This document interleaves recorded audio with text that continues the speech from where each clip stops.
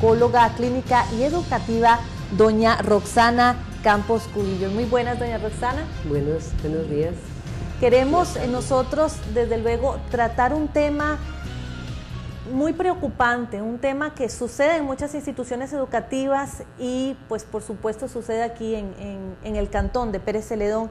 Y queríamos primero preguntar sobre el fenómeno eh, del bullying o el acoso, el acoso escolar. Primero definir qué, qué es eso. Muy importante, eh, es un tema, es un fenómeno que eh, está haciendo estragos en nuestros niños y en nuestros jóvenes. El, acoso escolar o bullying, ¿verdad? En término inglés, eh, implica intimidar, acosar, molestar de forma permanente a esas personas que, por su forma de ser eh, pueden ser intimidadas o sea, no es cualquier persona la que sufre esto, sino que hay el, intimidador, el acosador, el, matón, porque también se le ha denominado matonismo, eh, que, hace esto con sus víctimas, pues, pues sabe a quién puede dirigir ese, ese hostigamiento o, ese acoso. ¿Y de qué manera afecta? Es decir, ¿cómo, ¿cuáles son las consecuencias de este tipo de hostigamiento?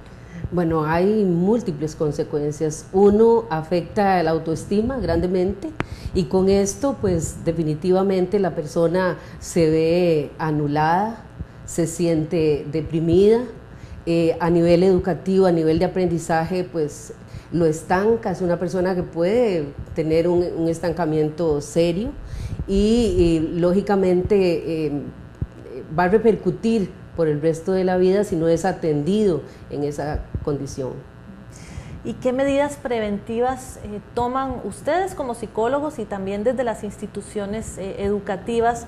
Porque me imagino que puede haber una manera de prevención, eh, campañas tal vez, que los chicos se eduquen de una manera diferente. Mm, definitivamente, nosotros tenemos que trabajar en equipo, informando primero que todo al al personal docente de qué es el bullying. Hay mucha ignorancia porque a pesar de que es un término que, se maneja fácilmente, pues definitivamente tenemos que eh, saber a qué se refiere cuando estamos hablando de bullying porque hay otro tipo de maltrato, hay jóvenes que, tienen una manera de hablar de forma agresiva, eh, que, su medio es así, de, impulsivo, pero no es bullying.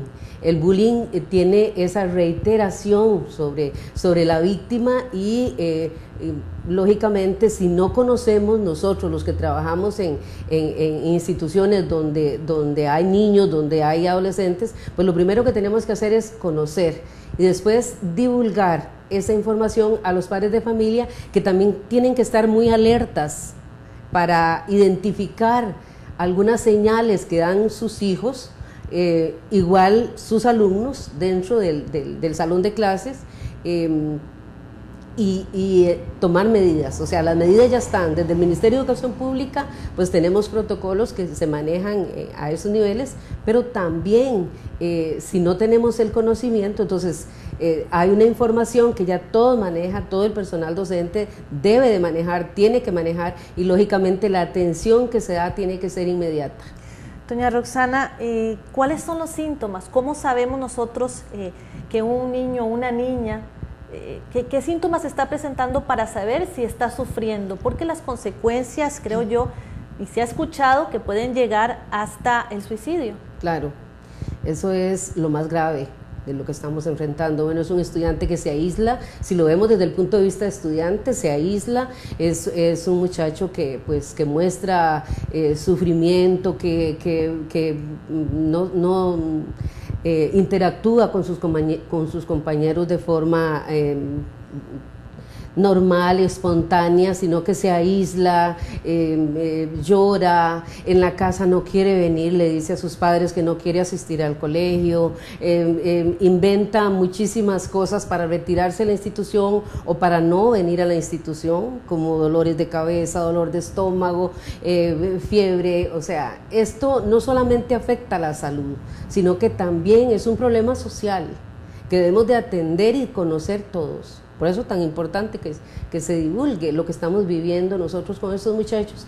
Por lo general también a veces llegan con raspones a la casa, los padres tienen que estar muy pendientes de, cómo les fue, de, de, verles, de acercarse, de mirarlos a los ojos y, de ver qué es lo que está pasando con ellos, con quién andan, cómo se sienten, por qué vienen con ese moretón el día de hoy o por qué vienen su, su, ropa rasgada, qué sé yo. Hay, hay muchas formas en las que se podría identificar un, niño que está siendo agredido, agredido un joven que, que está siendo maltratado, intimidado ¿Y eso cómo se trata? Una vez que ya está afectado psicológicamente, ¿cómo hacen con el tratamiento para que luego se pueda recuperar? Bueno, necesitamos trabajar directamente en el, en el empoderamiento de esta persona y que sepa que hay personas alrededor de él, ya sea los padres que hagan una buena intervención con sus hijos o nosotros desde las instituciones que eh, les enseñamos ante cualquier situación irregular de este tipo, ¿a quiénes acudir? Mire, aquí está esta persona, aquí está esta. Puedes hablar de esto y no necesariamente es una denuncia que te va a exponer, no. Puedes hablar de esto y entonces nosotros vamos a tratarlo de manera que nadie sepa que fue usted el que nos dijo.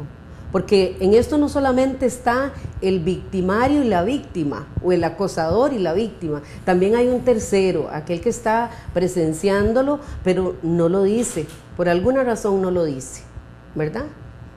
Entonces, eh, cuando esto sucede, estamos involucrando ya a tres personas en este tipo de situaciones. Desde luego esto sucede mucho en, en edad escolar eh, mm, no sé si tiene más gravedad a la hora de la adolescencia por ser un, no sé, por ser tan vulnerable la edad. Mm, pienso que, que es importante a cualquier edad, pero más bien cuando sucede en la adolescencia y el muchacho no se defiende, no lo dice, no lo denuncia, no lo comenta a sus padres, no acude a, las, personas adecuadas que ya están, son identificadas en las instituciones a las cuales él puede acudir o ella puede acudir, eh, entonces sí estamos ante un, una situación muy difícil porque por la edad de este muchacho mientras que los niños, que bien es cierto, pueden ser más intimidados, pueden tener más miedo, pueden ser eh, eh, más vulnerables, más sensibles ante, ante este tipo de abusos, pues eh, podrían quedarse más calladitos. Cuando sucede en la adolescencia, entonces estamos ante un problema ya de personalidad, identidad, donde hay estrés postraumático. O sea, si, si eso me sucedió eh, en, edad escolar, cuando yo era un niño, imagínense que eso se repite, se repite. Muchas veces incluso lo llevan a la adultez, en la universidad y cuando ya se emparejan, ¿verdad?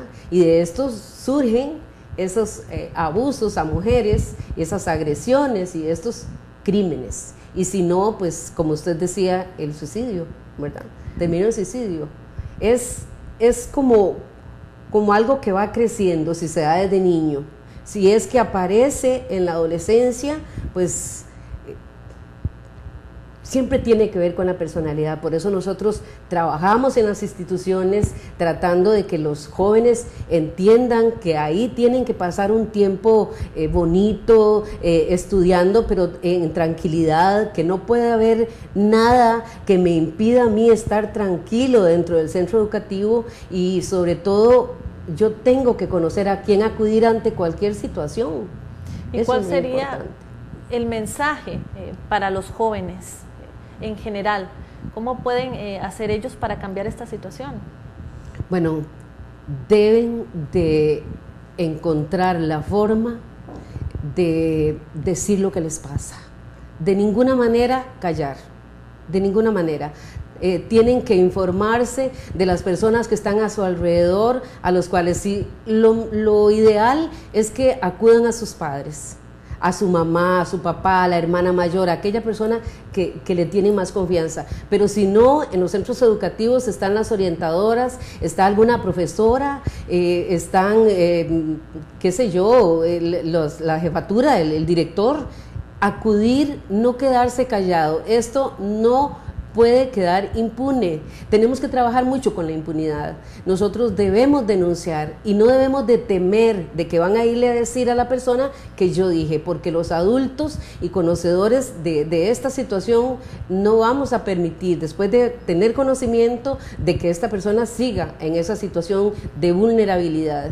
Definitivamente eh, esto solo se termina cuando todos... Eh, eh, demos apoyo a nuestros niños, demos apoyo a los adolescentes que sientan ese apoyo y que, y que no sigan sufriendo, porque en ninguna parte, ya sea en la casa, que es de donde inicia todo esto, ¿verdad? Si pudiéramos eh, eh, hablar de, por qué se da, por qué, por qué yo permito que esto, esto suceda, entonces, eh, pues entenderíamos al, al, que sufre de este tipo de abuso pero eh, no se queden callados, esa es la palabra, no se queden callados y a los padres denle atención y amor, denle atención y amor a los hijos. Eso es lo que necesitamos. Doña Roxana, muchísimas gracias, un placer haberla tenido aquí y pues eh, saber un poquitito más de este fenómeno y poder aportar nuestra parte para que esto se pueda ir erradicando. Muchísimas gracias. Gracias a usted, doña Cira, por invitarme y nos vamos eh, a una pausa comercial y ya casi volvemos con más información.